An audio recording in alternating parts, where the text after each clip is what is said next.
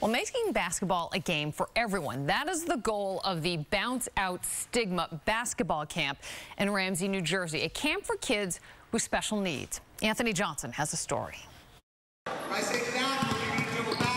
This is about what can be done.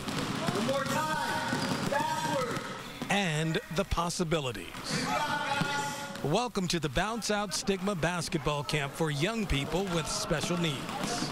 It's all about self-empowerment, showing them that they can reach their beyond their limits, and that's the whole what the whole point of the program is. They call him Mighty Mike, and he teaches basketball drills, working on concentration and focus. Good job, keep it going. Mike says his father gave him a basketball when he was young, and it changed his life. He played in high school and college and with the Harlem Wizards. Now he focuses in on helping those with special needs. Try to, you know, show these kids that, you know what, I'm somebody that has epilepsy, and I've not let it hold me back, and you don't have to do the same either.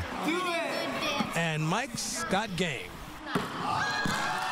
The camp is supported by the New York Knicks and has been cited with numerous awards for community service. Oh, Several campers come back year after year. Why do you like to come back? To have fun. Parents were able to keep a watchful eye on their kids who caught on quickly. The way that this camp is run is absolutely phenomenal. The kids all listen. Everybody respects everybody else. It's, it's just wonderful. Zachary, uh, he's gotten so much out of this camp, and um, he really looks forward to uh, helping the other kids, right? Yeah.